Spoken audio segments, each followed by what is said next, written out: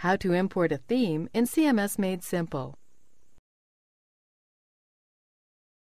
This tutorial begins on the CMS Made Simple website at www.cmsmadesimple.org and assumes you are logged in to your CMS Made Simple admin console. Now let's learn how to import a new theme in CMS Made Simple.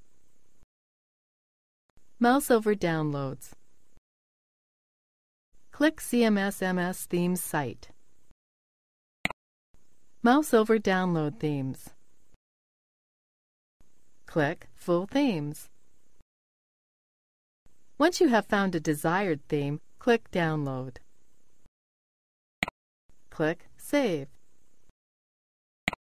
Once downloaded, click Close. You have successfully downloaded a theme to your local computer. Now, let's go to the CMS Made Simple admin panel to import. Mouse over Layout. Click Theme Manager. Click Import. Click Browse to locate the file on your local computer. Click on the theme file. Now, click Open. Once finished, click Import. Scroll down.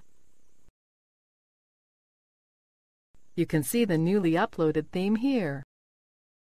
This is the end of the tutorial. You now know how to download and upload a theme within CMS Made Simple.